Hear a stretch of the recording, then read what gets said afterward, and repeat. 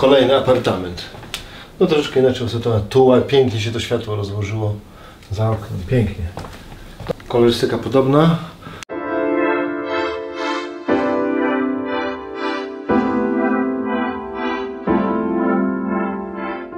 Tutaj mamy sypialnię. Za takimi drzwiami. Design oczywiście nowoczesny, współczesny. Oczywiście znowu inspiracja, inspiracja drzew, lasu.